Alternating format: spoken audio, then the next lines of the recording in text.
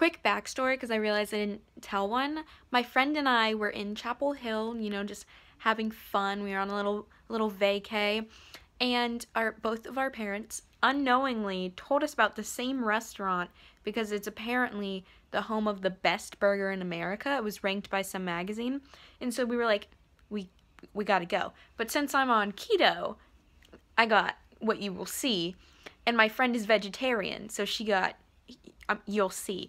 But neither of us really got the best burger in America because I couldn't have the bun, she couldn't have the meat. So we kind of, you know, had the had the opposite of each other. But the meat, you know, was great, and apparently the bun was great. I don't remember what we said, but here's our reaction. What do you think? Pretty good. Best burger in America? It's pretty good. Pretty good. Is it It's really good. really good? And you got the, the vegetarian one, right? Sweet potato. Sweet potato?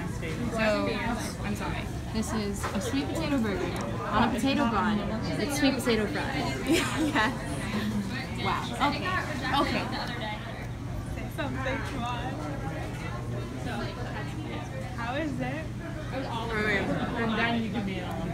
For nothing but cheese, bacon, and a burger. Pretty good. Oh my god, I said, she said no, he Right. texted me, but Really good. I didn't respond. I said, what did he say? I think you're really cute, I would love to take you out. Oh my god. That's aggressive. So as you can see, my burger was a little sad, but like it was um it was cooked pretty well. The dude who um took my order was judging me harshly cuz I didn't get a bun.